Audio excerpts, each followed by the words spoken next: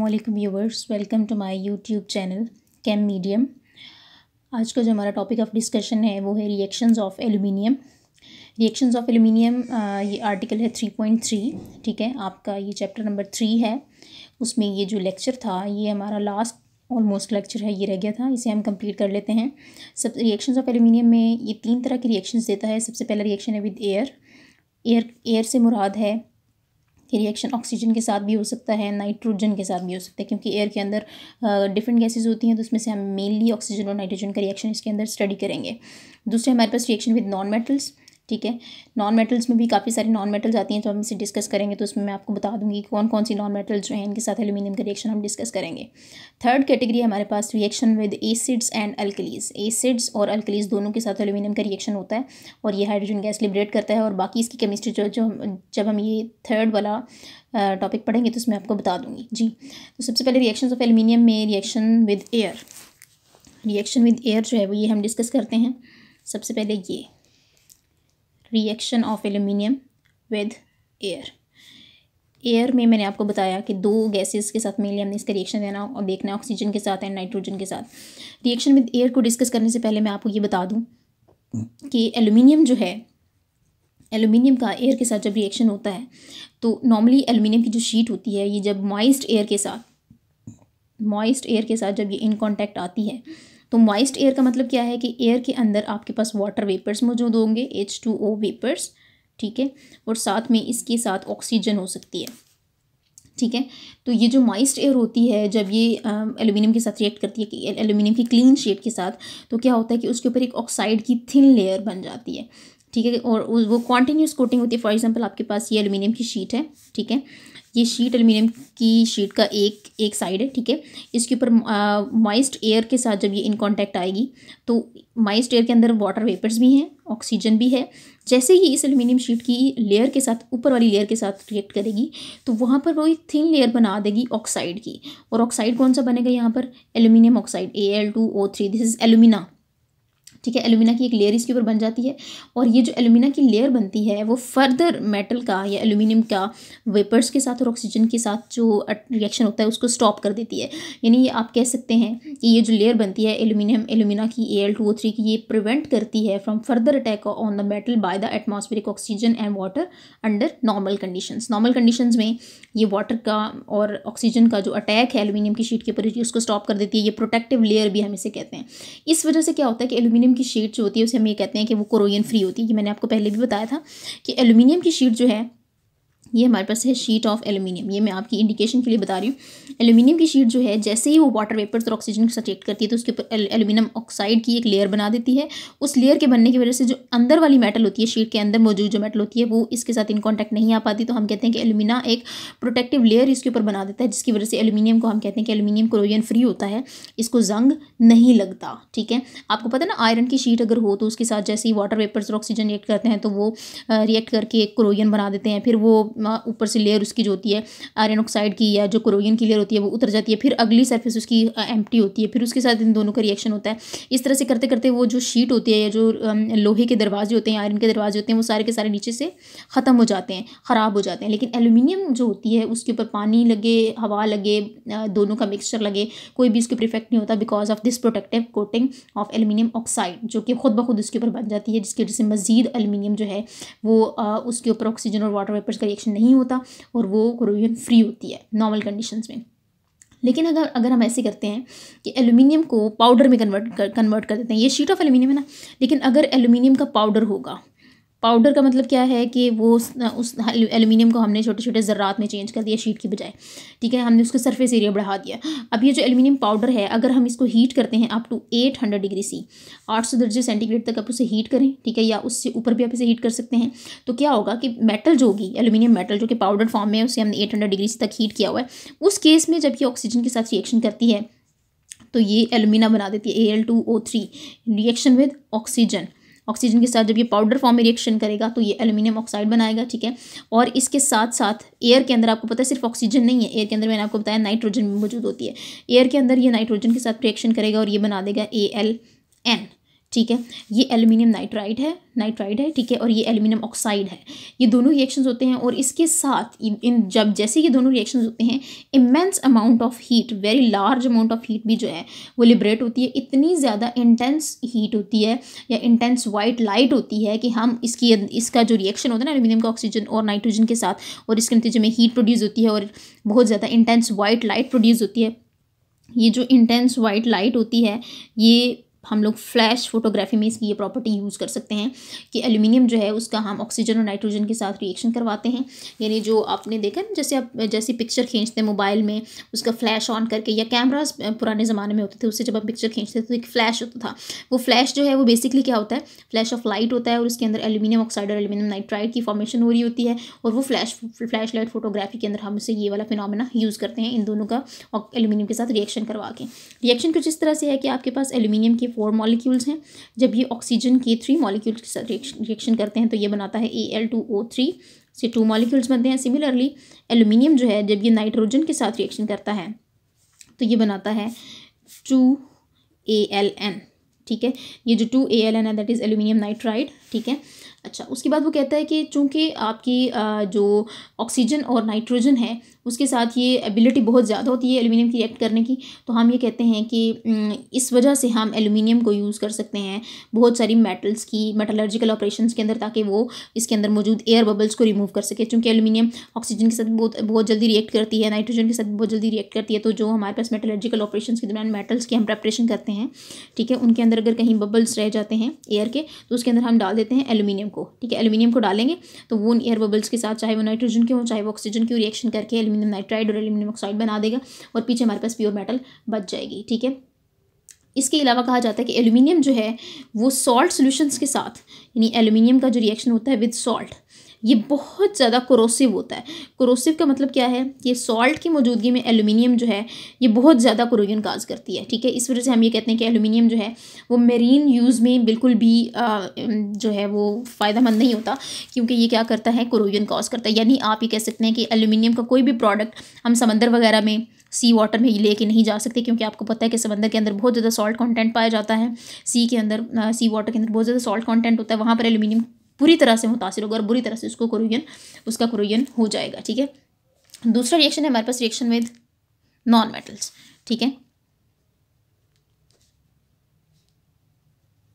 Reaction with non metals non metals में कौन कौन सी हमारे पास नॉन मेटल्स आती हैं? नॉन मेटल्स हम देख लेते हैं नॉन मेटल्स में हमारे पास आती हैं वैसे तो ऑक्सीजन और नाइट्रोजन भी नॉन मेटल्स हैं। लेकिन यहाँ पर स्पेसिफिकली हम जो नॉन मेटल्स देखेंगे, उसमें हेलोजन्स होंगी आपके पास, उसमें सल्फ़र होगी, ठीक है? उसमें नाइट्रोजन है, ठीक है? उसमें फॉस्फोरस है। फॉस्फोरस के अलावा कार्बन है, ठीक है? और ये तमाम नॉन मेटल्स जो हैं, इनके साथ जब एल्यूमिनियम का रिएक्शन होता है तो बहुत ज़्यादा हीट लिबरेट होती है। फॉर एग्जांपल अगर हम हेलोजेंस में से क्लोरीन के साथ इसका रिएक्शन कराते हैं तो A L plus C L two ये बनाता है A L C L three ठीक है? तो इसको हम यहाँ पर थ्री रखेंगे, ठीक है? और यहाँ पर हम लोग रखेंगे जनाब थ्री टू सिक्स यहाँ पर हम लेंगे टू ठीक है? तो ये हमारे पास बनाएगा two A L C L three aluminium chloride और बहुत ज़्यादा हीट लिबरेट होती है सिमिलरली इसका रिएक्शन एल्यूमिनियम का अगर हम करवाते हैं किसके साथ? हाइड्रोजन के साथ। हाइड्रोजन भी तो नॉन मेटल है ना? हाइड्रोजन के साथ जब इसका रिएक्शन होगा एल्यूमिनियम का हाइड्रोजन के साथ तो ये बनाता है ए एल एच थ्री वही रेशो होगी two A L three H two A L H three similarly aluminium जो है, ये कार्बन के साथ रिएक्शन करती है।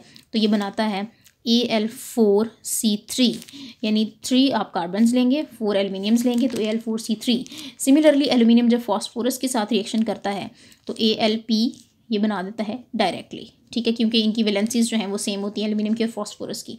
सिमिलरली एल्यूमिनियम जो है वो सल्फ़र के साथ जब रिएक्शन करता है सल्फ़र के साथ तो ये बनाता है A L two S three ठीक है? वही रेशो होगी इसके दरमियान भी। तो ये हमारे पास है तमाम नॉन मेटल्स के साथ इसका रिएक्शन ठीक है? अच्छा। नेक्स्ट और लास्ट रिएक्शन हमारे पास है। थर्ड वाला reaction with acids and alkalis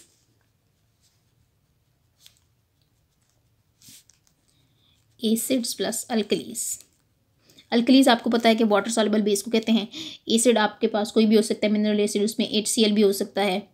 ठीक है, उसमें H two S O four भी हो सकता है, उसमें एच एन ओ थ्री भी हो सकता है और अल्कलीज में आपके पास सोडियम हाइड्रोक्साइड हो सकता है पोटाशियम हाइड्रोक्साइड हो सकता है। पहले हम एच सी एल के साथ इसका रिएक्शन देते हैं, देखते हैं, ठीक है, वो कहता है कि एल्यूमिनियम जो है, वो डाइल्यूट एसिड के साथ बहुत स्लो रिएक्शन शो करता है, जबकि कंसनट्रेटेड एसिड के साथ बहुत ज़्यादा फास्ट और रैपिड रिएक्शन होता है और हाइड्रोजन गैस जो है, वो लिबरेट होती है, यानी एल्यूमिनियम जब रिएक्शन करता है एट सी एल के साथ तो ये प्रोडक्ट्स बनाएगा A L C L three aluminium chloride plus hydrogen gas अब इस रिएक्शन को हम बैलेंस कर लेते हैं इस इक्वेशन को। यानी हमारे पास यहाँ पर आएगा थ्री है ना? हम यहाँ पर लगाते हैं टू ए एल और थ्री है चूँकि तो इसको बैलेंस करने के लिए हम लोग यहाँ पर लगाएँगे सिक्स यहाँ पर लगाएँगे टू ठीक है? और हाइड्रोजन के हमारे पास तीन मॉलिक्यूल्स लिबरेट होते हैं। सिमिलरली इसका रिएक्शन है सल्फ्यूरिक एसिड के साथ तो डाइल्यूट के साथ तो ये बिल्कुल रिएक्ट नहीं करता। कंसनट्रेटेड सल्फ्यूरिक एसिड के साथ ये रिएक्शन शो करता है।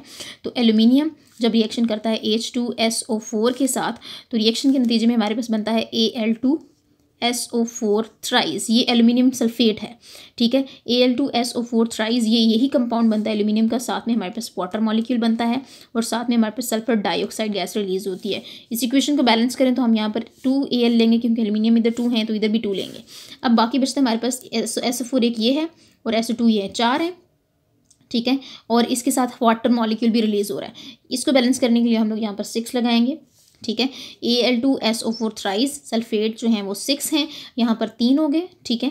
तीन सल्फेट्स यहाँ पर आ गए और एक बाकी जो सल्फेट्स बचेंगे वो यहाँ आएँगे। थ्री हम थ्री एस ओ टू यहाँ पर कर देंगे।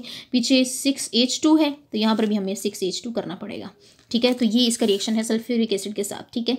अच्छा फिर आगे हम कहते हैं कि एल्यूमिनियम जो है, ये एच एन ओ थ्री के साथ जब रिएक्शन शो करता है तो there would be no reaction यानी एल्यूमिनियम का नाइट्रिक एसिड के साथ कोई रिएक्शन नहीं है, चाहे जितनी मर्ज़ी कंसनट्रेशन हो, चाहे ये डाइल्यूट हो, चाहे ये कंसनट्रेटेड हो, चाहे ये हॉट हो, चाहे ये कोल्ड हो, ये रिएक्शन नहीं करता, क्योंकि एल्यूमिनियम जब नाइट्रिक एसिड के साथ रिएक्शन करने की कोशिश करता है तो एल्यूमिन एल्यूमिनियम ऑक्साइड पहले बन जाता है, जो कि प्रोटेक्टिव लेयर बनाता है, जिसकी वजह से फर्दर इसका इस नाइट्रिक एसिड के साथ रिएक्शन जो है वो पॉसिबल नहीं हो सकता। इस वजह से हम ये कहते हैं कि एल्यूमिनियम जो है, उसके कंटेनर को हम नाइट्रिक एसिड को स्टोर करने के लिए यूज़ कर सकते हैं, ठीक है? बाकी एल्यूमिनियम जो है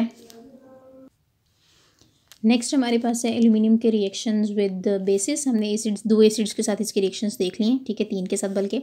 अब एल्यूमिनियम जो है, ये बेसिस में से सोडियम हाइड्रोक्साइड या पोटाशियम हाइड्रोक्साइड दोनों के साथ रिएक्शन शो करता है, ठीक है? और दोनों के साथ जब ये रिएक्शन शो करेगा तो ये सॉलेबल एल्यूमिनेट्स बनाएगा।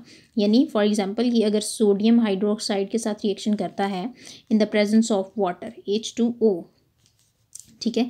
तो ये क्या चीज़ बनाता है? ये soluble aluminium alumino sulphates aluminates बनाता है, यानी आपके पास बनेगा N A L O H four आएगा यहाँ पे, ठीक है? Sodium aluminate sodium aluminium hydroxide भी इसे हम कहते हैं, यानी इसका जो नाम है ना प्रॉपर वो क्या है? Sodium tetra hydroxo aluminate. ये नाम आपकी बुक में नहीं लिखा हुआ, ये आप लोग लिख लें एलुमिनेट थ्री या एल्यूमिनियम थ्री, ठीक है? और साथ में हमारे पास रिलीज़ होती है हाइड्रोजन गैस एच टू इसको हम बैलेंस करें तो टू ए एल आएगा, ठीक है? Two N A O H आएगा और सिक्स एच टू ओ आएगा, ठीक है? और साथ में हमारे पास थ्री एच टू हाइड्रोजन के मॉलिक्यूल्स बनेंगे। सिमिलर रिएक्शन जो है, ये देता है हमारे पास पोटाशियम के साथ, यानी एल्यूमिनियम जब पोटेशियम हाइड्रोक्साइड के साथ रिएक्शन करता है वाटर की प्रेजेंस में बैलेंसिंग के तमाम जो हमारे पास मोल्स हैं, वो सेम रहेंगे। सिक्स एच टू प्रोडक्ट हमारे पास बनता है K A L O H whole four plus three H two ठीक है this is potassium tetra hydroxo aluminate ठीक है? तो ये हमारे पास रिएक्शंस ऑफ़ एलुमिनियम है, ठीक है? ये तकरीबन हमारे तमाम रिएक्शंस हो गए। ये टॉपिक बहुत ज़्यादा इंपॉर्टेंट है with respect to short questions and long question में भी आ सकता है। उसको आपने बहुत अच्छे से पढ़ना है और इसको लर्न करना है, ठीक है? नेक्स्ट हमारे पास है एलुमिनियम के यूजेस सबसे पहला यूज़ है हमारे पास एलुमिनियम का कि ये बहुत ज़्यादा लाइट होती है, यानी लाइट वेट होती है हैवी नहीं होती। Three times less dense than iron यानी आयरन का जो वेट होता है उससे तीन टाइम्स अगर हम लेस करें वेट तो फिर एल्यूमिनियम जो है उसका वेट बनता है, ठीक है? But but process high tensile strength this this properties account for its extensive use in transport industry transport industry यानी गाड़ियों वगैरह में एल्यूमिनियम यूज़ की जाती है ताकि वो बहुत ज़्यादा हैवी ना रहे, उनको चलाना आसान हो शिप्स में कार्स में और एयरक्राफ्ट में यानी ये जो प्लेन्स होते हैं वो बनाने के लिए, ठीक है? It is an excellent conductor of both electricity and heat और इलेक्ट्रिसिटी को बहुत अच्छे से कंडक्ट करता है.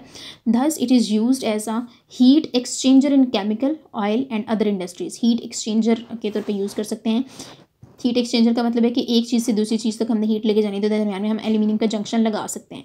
Heavy duty electrical cables are made of aluminium metal heavy duty का मतलब है कि जहाँ से बहुत ज़्यादा एनर्जी जाती है, जैसे मोटर वगैरह की वायर हो, उसमें एल्यूमिनियम वगैरह यूज़ हो सकती है, या अगर कहीं बहुत ज़्यादा हीट एनर्जी चाहिए, ठीक है, या इलेक्ट्रिसिटी चाहिए तो वो वायर्स जल जाती हैं बाजू का समटाइम्स ठीक है तो उन वायर्स के अंदर हम एल्यूमिनियम वगैरह यूज़ कर सकते हैं। थर्ड यूज़ है इसका aluminium is an excellent reflector of radiant energy.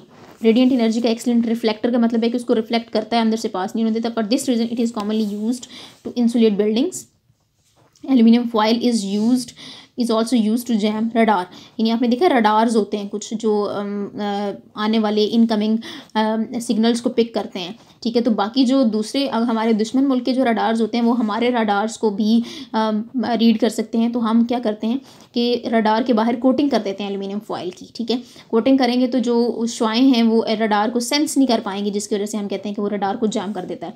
It is non magnetic and is thus use in navigational equipments non magnetic है, यानी ये रेडियंट एनर्जी को रिफ्लेक्ट करता है तो फिर ये मैग्नेटिक भी नहीं होता। इसलिए ये नेविगेशनल इक्विपमेंट्स में यूज़ होता है।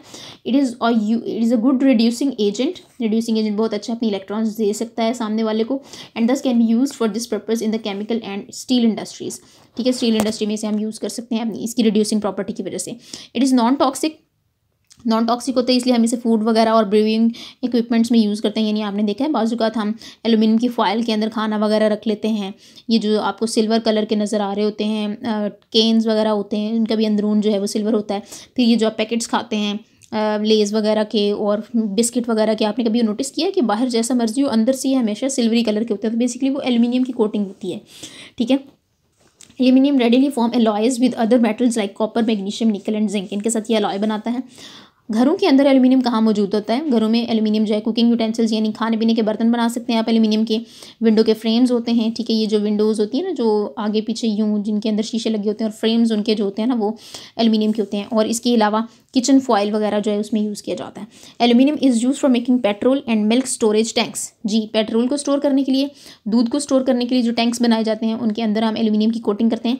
बिकॉज़ इट रिफ्लेक्ट्स हीट क्योंकि वो हीट को रिफ्लेक्ट करते हैं and prevents them from being over heated in the sun ताकि कहीं वो सूरज की मौजूदगी में या रोशनी के अंदर वो बहुत ज़्यादा गर्म ना हो जाए ख़राब ना हो जाए, ठीक है? तो इस वजह से हम उनके अंदर एल्यूमिनियम की कोटिंग करते हैं, क्योंकि वो हीट को अंदर नहीं आने देता। यानी हीट को रिफ्लेक्ट करने की एबिलिटी कंडक्टर है, लेकिन हीट को रिफ्लेक्ट करने की एबिलिटी इसके अंदर बहुत ज़्यादा होती है, ठीक है? तो आज के लिए इतना काफ़ी है, इसको बहुत अच्छे से आपने पढ़ना है, ठीक है? इन मिलेंगे क्लास में। अल्लाह हाफिज़ गर्ल्स अपना ख्याल रखिएगा।